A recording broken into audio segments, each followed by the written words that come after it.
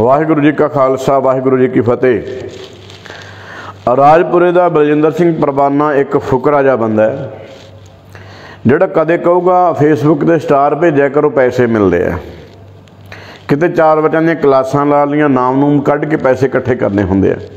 ਜਾਂ ਸ਼ਿਵ ਸੈਨਾ ਦਾ ਪੋਸਟਰ ਪਾੜਦਾ ਕਾਲੀ ਮਾਤਾ ਦੇ ਮੰਦਿਰ ਤੇ ਜਾ ਕੇ ਖਾਲਸਤਾਨ ਦੇ ਨਾਰੇ ਲਾਤੇ ਪੋਸਟਰ ਪਾੜਦੇ ਇਹੋ ਜਿਹੇ ਕੰਮ ਕਰਕੇ ਹੀ ਪੈਸੇ ਕਮਾਉਂਦੇ ਹੁੰਦੇ ਬੰਦੇ। ਹੁਣ ਇੱਕ ਵੀਡੀਓ ਘੁੰਮਦੀ ਹੈ ਅਮਰੀਕਾ ਟਨਗਨ ਸ਼ਹਿਰ ਹੈਗਾ ਇੱਕ।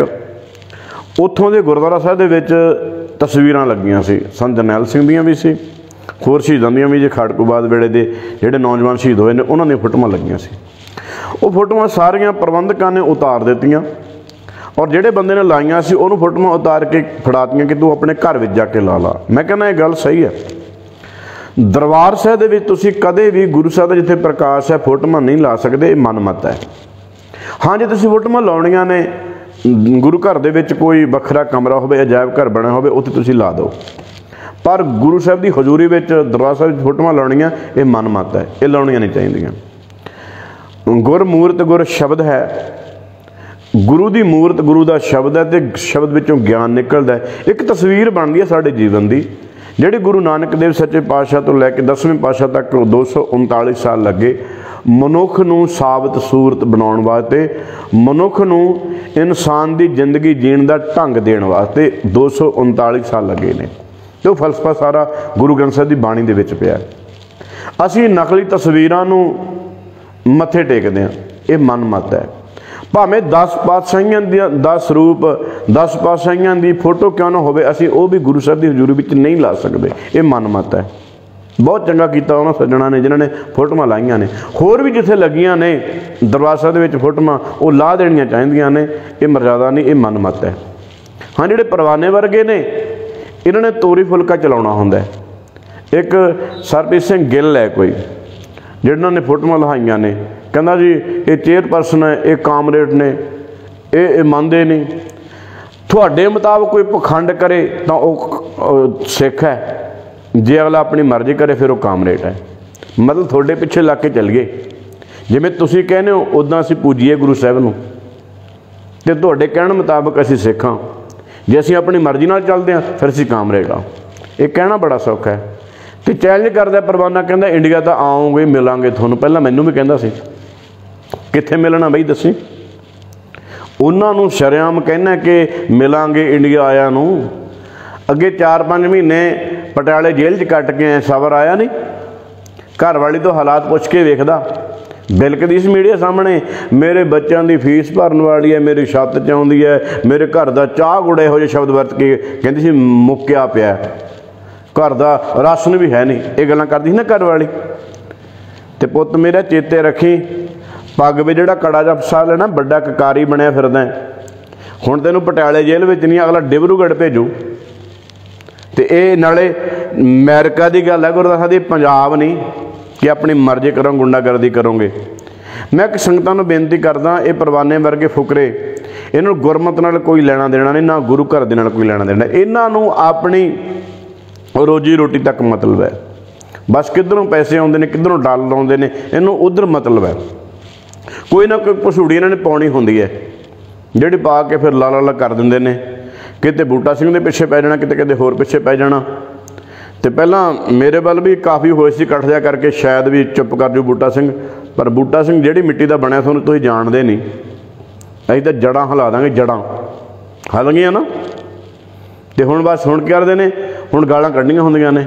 ਕਿਤੇ ਸਹੁਰਾ ਸਾਹਿਬ ਕਿਤੇ ਕੁੜੀ ਦੇਣੀ ਹੈ, ਕਿਤੇ ਰਿਸ਼ਤਾ ਕਰਨਾ ਹੈ, ਬਸ ਆਹੀ ਗੱਲਾਂ ਕਰਨੀਆਂ ਹੁੰਦੀਆਂ। ਇਹ ਤੁਹਾਡੀ ਕਰਤੂਤ ਬਾਹਰ ਆ ਰਹੀ ਹੈ। ਜੋ ਤੁਹਾਡੇ ਅੰਦਰ ਹੈ ਨਾ, ਉਹ ਬਾਹਰ ਆ ਰਿਹਾ ਹੈ।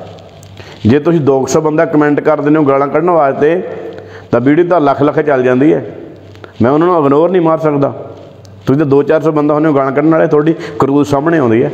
ਜਿਹੜੇ ਵੀ ਪ੍ਰਬੰਧਕ ਨੇ ਗੁਰੂ ਘਰਾਂ ਦੇ, ਮੈਂ ਬੇਨਤੀ ਕਰਦਾ। ਸਭ ਤੋਂ ਪਹਿਲਾਂ ਤਾਂ ਆਪਣੇ ਆਪ ਨੂੰ ਡਿਕਟੇਟਰ ਬਣ ਕੇ ਕਬਜ਼ੇ ਨਾ ਕਰੋ ਗੁਰੂ ਘਰਾਂ ਤੇ। ਜੇ ਗੁਰੂ ਘਰ ਦਾ ਪ੍ਰਬੰਧ ਸੰਭਾਲਿਆ ਹੋਇਆ ਥੋੜਾ ਜਿਹਾ ਕੌਮ ਦੇ ਵੱਲ ਵੀ ਧਿਆਨ ਦੇ ਲਓ, ਗੁਰੂ ਸਾਹਿਬ ਦੇ ਸਿਧਾਂਤਾਂ ਵੱਲ ਵੀ ਧਿਆਨ ਦੇ ਲਓ, ਗੁਰਮਤ ਵੱਲ ਵੀ ਧਿਆਨ ਦੇ ਲਓ, ਮਨਮਤ ਨਾ ਗੁਰੂ ਘਰਾਂ ਦੇ ਵਿੱਚ ਲਾਓ। ਤੇ ਜਿੱਥੇ ਕਿਸੇ ਨੇ ਫੋਟੋਆਂ ਲਾਈਆਂ ਨੇ ਦਰਬਾਰ ਸਾਹਿਬ ਦੇ ਵਿੱਚ, ਗੁਰੂ ਸਾਹਿਬ ਦੀ ਹਜ਼ੂਰੀ ਵਿੱਚ, ਉਹ ਲਾ ਦਿਓ। ਉਹਦੇ ਨਾਲ ਕੋਈ ਤੁਸੀਂ ਵੱਡੇ ਨਹੀਂ ਹੋ ਜਾਣਾ। ਨਾ ਪੂਜਾ ਕਰੋ। ਇਹ ਪਰਵਾਨੇ ਵਰਗੇ ਤਾਂ ਕਹਿੰਦੇ ਰਹਿਣਗੇ, ਇੱਥੇ ਵੀ ਲੜਦੇ ਨੇ। ਜੇ ਕਿਸੇ ਪਲਾਟ ਤੇ ਕਬਜ਼ਾ ਕਰਨਾ ਹੁੰਦਾ ਉੱਥੇ ਜਾ ਕੇ ਸੰਤ ਜਰਨੈਲ ਸਿੰਘ ਦੀ ਫੋਟੋ ਲਾ ਦਿੰਦੇ ਆ। ਆ ਪਿੱਛੇ ਹੋਇਆ ਹੋਇਆ ਹੀ ਹੋਇਆ। ਇਹ ਕਿੱਥੇ ਮਹਿਰੋ ਫਿਰਦਾ ਨਿਹੰਗਾਂ ਦੇ ਬਾਣੇ ਦੇ ਵਿੱਚ, ਤੇ ਉਹ ਵੀ ਹੀ ਕਰਦਾ ਹੁੰਦਾ ਇਹ ਕਬਜ਼ੇ ਲੈਣ ਵਾਸਤੇ ਫੋਟੋਆਂ ਵਰਦੇ ਨੇ। ਤੇ ਮੈਂ ਬੇਨਤੀ ਕਰਾਂ, ਗੁਰੂ ਘਰ ਕੋਈ ਕਬਜ਼ਾ ਨਹੀਂ। ਜਿੱਥੇ ਕਿਸੇ ਨੇ ਪ੍ਰਬੰਧਕਾਂ ਨੇ ਫੋਟੋਆਂ ਲਾਈਆਂ ਨੇ, ਉਹ ਲਾ ਦਿਓ, ਚੰਗੇ ਰਵਾਂਗੇ। ਅਸੀਂ ਗੁਰਮਤ ਦੇ ਮੁਤਾਬਕ ਜੀਣਾ ਫੋਟੋਆਂ ਦੇ ਨਾਲ ਨਹੀਂ। ਮੂਰਤੇ ਬੋਲਦੀ ਹੀ ਨਹੀਂ, ਸ਼ਬਦ ਬੋਲਦਾ ਹੈ। ਤੁਸੀਂ ਜੀਟੀ ਰੋਡ ਤੇ ਜਾਓ, ਸਫ਼ਰ ਕਰਦੇ ਹੋ। ਮੀਲ ਪੱਥਰ ਤੇ ਲਿਖਿਆ ਹੁੰਦਾ ਲਿਖਿਆ ਕੀ ਹੁੰਦਾ ਸ਼ਬਦ। ਸ਼ਬਦ ਬੋਲ ਕੇ ਦੱਸਦਾ ਤੂੰ ਇੰਨੇ ਕਿਲੋਮੀਟਰ ਆ ਚੁੱਕਾ ਹੈ ਇੰਨੇ ਕਿਲੋਮੀਟਰ ਰਸਤਾ ਬਾਕੀ ਹੈ। ਸ਼ਬਦ ਬੋਲਦਾ ਮੂਰਤੀ ਨਹੀਂ ਬੋਲਦੀ, ਫੋਟੋ ਨਹੀਂ ਬੋਲਦੀ। ਹਾਂ, ਜਿਹੜੇ ਕਹਿੰਦੇ ਨੇ, ਮਰਨ ਤੋਂ ਬਾਅਦ ਤਸਵੀਰਾਂ ਵਿਕਦੀਆਂ ਨੇ, ਇਹ ਫੁਕਰੇ ਢਾਡੀ ਨੇ, ਫੁਕਰੇ ਪ੍ਰਚਾਰਕ ਨੇ ਜਿਹੜੇ ਗੱਲਾਂ ਕਰਦੇ ਆ। ਵਿਕਦਾ ਕੀ ਹੈ? ਉਹਨਾਂ ਦੀ ਕਮਾਈ ਹੋਈ, ਗੁਰਮਤ ਵਿਕਦੀ ਹੈ, ਉਹਦੀ ਕੀਮਤ ਪੈਂਦੀ ਹੈ। ਇਹ ਫੋਟੋਆਂ ਦੀ ਕੀਮਤ ਕੋਈ ਨਹੀਂ। ਤੇ ਜਿਨ੍ਹਾਂ ਨੇ ਫੋਟੋਆਂ ਲਾਈਆਂ ਨੇ, ਮੈਂ ਬੇਨਤੀ ਕਰਦਾ ਇਹਦੇ ਵਿੱਚ ਮੇਰਾ ਕੋਈ ਰੋਲ ਨਹੀਂ, ਮੈਂ ਸਿਰਫ ਬੇਨਤੀ ਕਰਨੀ ਹੈ ਕਿ ਗੁਰੂ ਦੀ ਹਜ਼ੂਰੀ ਵਿੱਚ ਕੇਵਲ ਗੁਰੂ ਸਾਹਿਬ ਦਾ ਪ੍ਰਕਾਸ਼ ਹੋਵੇ ਮੂਰੇ ਡੈਕੋਰੇਸ਼ਨ ਵਾਸਤੇ ਵੀ ਜਿਹੜੇ ਸ਼ਸਤਰ ਰੱਖਦੇ ਨੇ, ਨੰਗੀਆਂ ਕਿਰਪਾਨਾਂ, ਖੰਡੇ, ਜਦੋਂ ਕਮੇਟੀ ਵਾਲੇ ਗੋਲਕਾਂ ਪਿੱਛੇ ਲੜਦੇ ਨੇ, ਉਦੋਂ ਇਹੀ ਚੱਕਦੇ ਹੁੰਦੇ ਨੇ। ਇਹ ਚੇਤੇ ਰੱਖਿਓ ਗੱਲ। ਨਾ ਕਰੋ ਇਹ ਜੀ ਮਨਮਤ। ਇਹ ਬੇਨਤੀ ਪ੍ਰਵਾਨ ਕਰਿਓ। ਤੇ ਪ੍ਰਵਾਨੇ ਨੂੰ ਬੇਨਤੀ ਹੈ ਚੈਲੰਜ ਅਮਰੀਕਾ ਵਾਲੇ ਨੂੰ ਕਰਿਆ ਕਰ, ਮੈਂ ਪੰਜਾਬ ਵਿੱਚ ਬੈਠਾ, ਮੈਨੂੰ ਦੱਸ ਕਿੱਥੇ ਆਉਣਾ ਮੈਨੂੰ ਦੱਸ ਕਿੱਥੇ ਆਉਣਾ ਹਰ ਵਕਤ ਚੈਲੰਜ ਕਰਦੇ ਰਹਿਣਾ ਫਿਰ ਕਸਹਿਰਾ ਲਿਬੜਿਆ ਹੁੰਦਾ ਤਾਂ ਫਿਰ ਪਤਾ ਵੀ ਨਹੀਂ ਲੱਗਦਾ ਵੀ ਕਿੱਥੇ ਬੈਠੇ, ਕਿੱਥੇ ਨਾ। ਇਹ ਬੇਨਤੀ ਪ੍ਰਵਾਨ ਕਰ ਲਈ। ਬੰਦੇ ਦਾ ਪੁੱਤ ਬਣ ਕੇ ਨਾ ਕੋਈ ਕੰਮ ਕਰ ਲੈ। ਵਾਹਿਗੁਰੂ ਜੀ ਕਾ ਖਾਲਸਾ, ਵਾਹਿਗੁਰੂ ਜੀ ਕੀ ਫਤਿਹ। ਰਾਜਪੁਰੇ ਦਾ ਬਲਜਿੰਦਰ ਸਿੰਘ ਪ੍ਰਵਾਨਾ ਇੱਕ ਫੁਕਰਾ ਜਿਹਾ ਬੰਦਾ ਹੈ।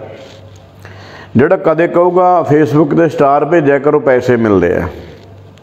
ਕਿਤੇ ਚਾਰ ਬੱਚਿਆਂ ਦੀਆਂ ਕਲਾਸਾਂ ਲਾ ਲੀਆਂ ਨਾਮ ਨੂੰ ਕੱਢ ਕੇ ਪੈਸੇ ਇਕੱਠੇ ਕਰਨੇ ਹੁੰਦੇ ਆ।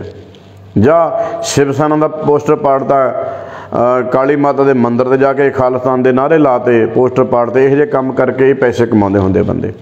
ਹੁਣ ਇੱਕ ਵੀਡੀਓ ਘੁੰਮਦੀ ਹੈ, ਅਮਰੀਕਾ ਟਨਗਨ ਸ਼ਹਿਰ ਹੈਗਾ ਇੱਕ।